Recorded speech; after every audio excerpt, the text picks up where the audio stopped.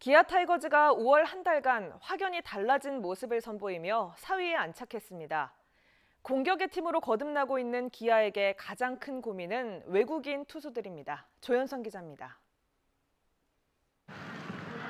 지난주 삼성 SSG를 상대로 서력전에 나섰던 기아. SSG에는 두 게임을 내주며 밀렸지만 삼성에는 세 게임을 모두 이기는 완벽한 복수전을 펼쳐 보이며 4위 자리를 지켰습니다. 올 시즌을 3분의 1 남짓 소화한 기아는 진 경기보다 이긴 경기가 5게임이 많습니다. 2위 키움과의 승차는 2게임 반.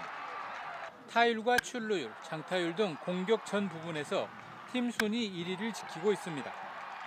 4월 한 달 불안했던 수비도 한결 안정감을 되찾았습니다. 면모를 보였습니다. 끌어당긴 타구 이루수 마지막 바운드 튀었는데 앞선 주자 처리.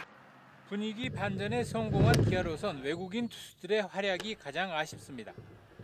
션 놀린은 부상으로 아예 팀 전력에서 빠져 있고 로니 윌리엄스는 부상 회복 후 등판한 두 게임 모두 기대에 못 미쳐 국내 투수들의 체력 소진으로 이어지고 있기 때문입니다.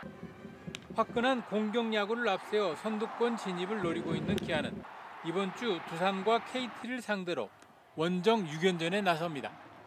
MBC 뉴스 조현성입니다.